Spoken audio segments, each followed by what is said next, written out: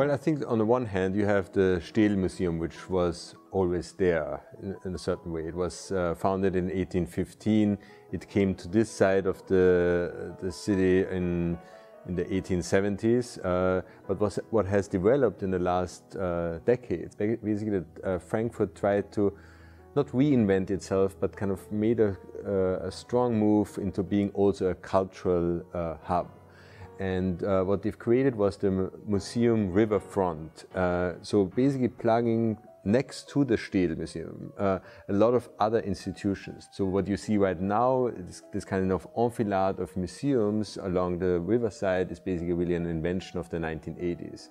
And the Schirn Kunsthalle, the other institution that I'm also running, is also a child of that uh, momentum. Uh, the Schirn Kunsthalle basically was one of the last major um, cultural institution buildings that they've done in the late 1980s. And right now, I mean, it's located right in the city center next to the Römer, um, where the city government sits. And the Liebieghaus is again also an institution on the riverfront. It's basically an old villa that was done in the 1870s and at, at the beginning of the 20th century was turned into a sculpture collection.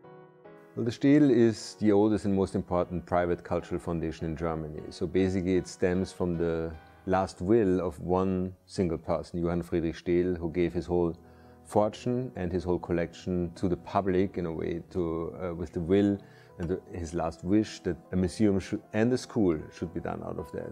Obviously, Johann Friedrich Städel was basically a, a, a person, a human, uh, coming out of the Enlightenment. So his, this whole idea about kind of uh, doing an institution to the benefit of all people and uh, through that art education actually makes a better person out of you. So that I guess was his uh, his intention, and he right, very rightly so wanted a museum and a school that should uh, stem out of that. And already in his first intention was that this museum becomes something bigger, grander, bigger than himself, so to say, or his, his own collection. So uh, he kind of gave that almost like an order to the, to the next generations of people in Frankfurt and said, okay, make something bigger out of this. This museum has always had this kind of broad span of, uh, of collection, collecting from the, what, the, what, what is being considered the beginning of painting in, in late medieval times to now. At the Städel, uh, our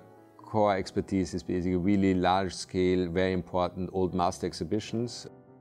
It's in a certain way a classical museum, so we are mainly focused on painting, sculpture and works on paper. We don't really collect in, in the area of co uh, contemporary large-scale installations, etc. But it's kind of like an enfilade of masterpieces. So you really have under one roof, I would say, um, the story of 700 years of art history. It's a very civic institution, and I think that's something that uh, really stands out in the whole German museum scene. Uh, we, uh, the Städel is certainly the anomaly to the museum infrastructure in Germany, also because it is really almost entirely uh, privately funded. The way we operate is basically we operate uh, through the support, uh, through the philanthropic support of a lot of the citizens of Frankfurt, as well as through corporate support, through sponsorship, and also through earned income. One of our main tasks was basically to really enrich our contemporary collection. I felt that we should do this in a very strategic way and rather not go step by step, but really try to make a, a big jump, a big leap forward.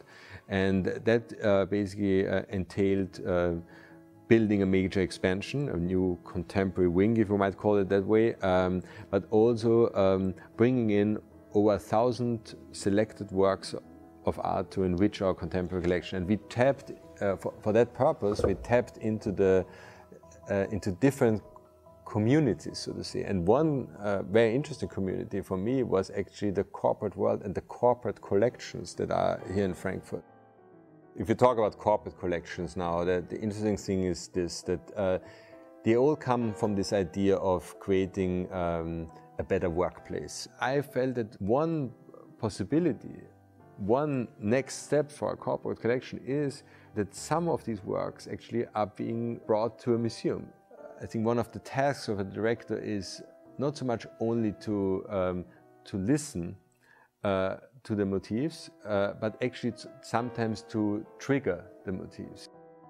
The Schirn is a, is a different kind of institution. It's a municipal institution. It was it was the will of the city to have one of the main exhibition halls, a Kunsthalle in in Frankfurt, and it's uh, right now I would say that the Schirn Kunsthalle is really one of the main exhibition venues in Europe that does uh, not only contemporary but also uh, 19th century and modern art. So there are only very few left uh, because it gets more and more challenging for a Kunsthalle that doesn't have its own collection to, to, to trade or to, or to barter uh, to do major shows on 19th century and modern art, but the, uh, the Schirn still is able to achieve that. The, the Schirn basically does, um, I would say, more challenging shows. When I would describe the program of the Schirn different to the Städel, I would say that uh, the Städel shows are usually manifestations, manifestations also of scholarship, manifestations of how the institution has researched something and uh, how it kind of develops out of its own collection a certain perspective.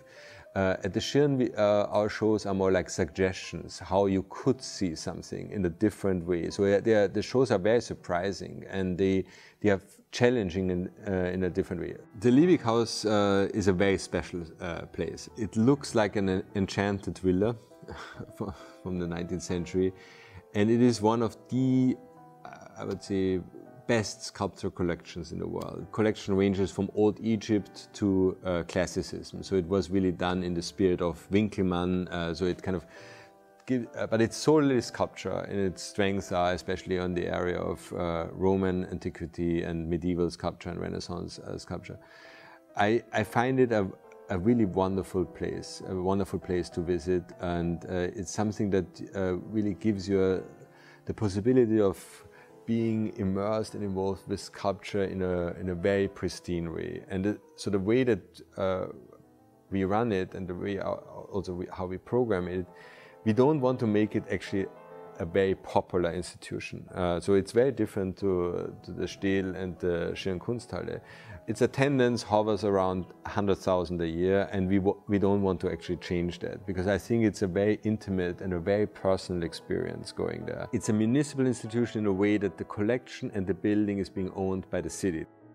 We, we, we right now make developments with the museum that bring us together or that connect us with various other fields. We run our museum shop online so we, uh, we have our own site with DM Drogeriemärkte where, where people can order online reproductions of our uh, artwork. So we, we venture into the, these different fields and I think for me the most interesting venture right now is really this this whole uh, notion of the cultural educational field that we kind of really tap into to with, with, with, very interesting digital means.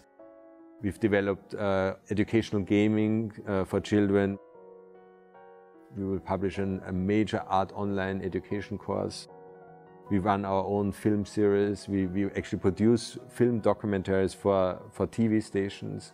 Um, uh, we do many, uh, many different uh, things in that, that field that actually means, makes the museum or the cultural institution a provider of information, a provider of education, uh, a provider of content, and something that is, can be used or can be experienced also way beyond uh, the, uh, just visiting the, the museum.